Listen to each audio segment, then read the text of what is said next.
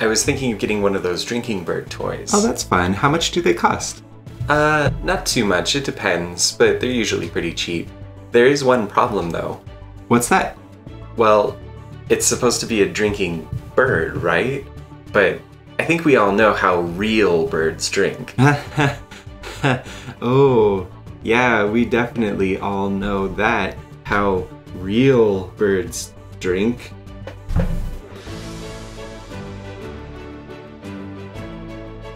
When you've got animal questions, don't ask a search engine, ask a zookeeper.